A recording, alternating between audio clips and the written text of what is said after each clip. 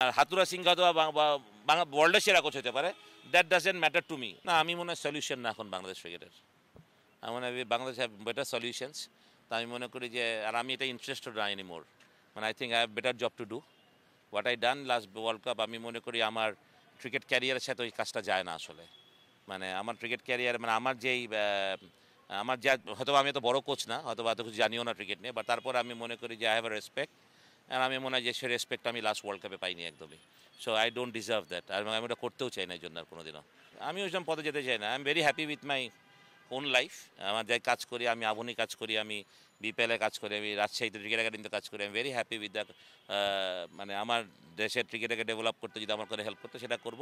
But আমি মনে হয় ন্যাশনাল টিমের ওই অ্যাসাইনমেন্টগুলো আমার জন্য ঠিক না আসলে। আমার মানে মানে মানে আমি যেটা বললাম মানে আই ডোন্ট ডিজার্ভ দ্যাট আর কি সত্যি কথা। আমি সবসময় একটা কথা মানি যে পাবন ভাই আমার প্রেসিডেন্ট মানে আমার ক্যাপ্টেন অ্যান্ড উনি আমাকে যখন বলে যে ফাইন লেগে ফিলিং করতে হবে have to run to go and play fine leg তো বাট আমার মনে হয় যে পাবন ভাই আমাকে আর বলবেন না মনে হয় যে ফাইন লেগে যেতে। আমার মনে হয় যে, এখন মানে আমি মনে করি যে I am not the solution কারণ এত বড় বড় কোচরা আসছে, যারা হাইলি পেড আমার তাদের মাঝে আমি আসলে খুব ছোট একটা মানুষ, ওইখানে না যাওয়াটাই ভালো আমার মনে হয়। না that's what I feel because I am মানে আমি আর এখন আর আঠাশ, উনত্রিশ বছরের বালক না।